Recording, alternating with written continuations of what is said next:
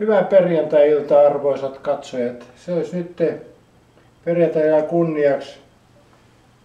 Ajattelin avata tämän 70 prosenttisen absintin ja maistaa miltä tämä maistuu. Mä en ole tota, sen vahvusta absinttia ikinä maistanut.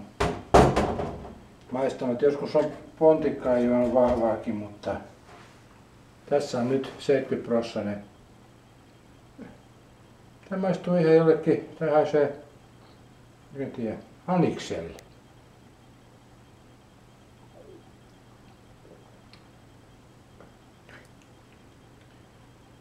Kyllä tämä aika härkihy on muuten. Mutta ei tämä oikeastaan pahaa ole. En mä kyllä lähtisi tätä lantrailemaan.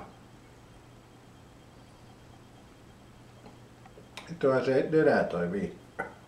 Juu. Ja tämmöstä. Aika Oikeastaan tämä on aika hyvää loppupeleissä. Näistä perjantai lähti käymään.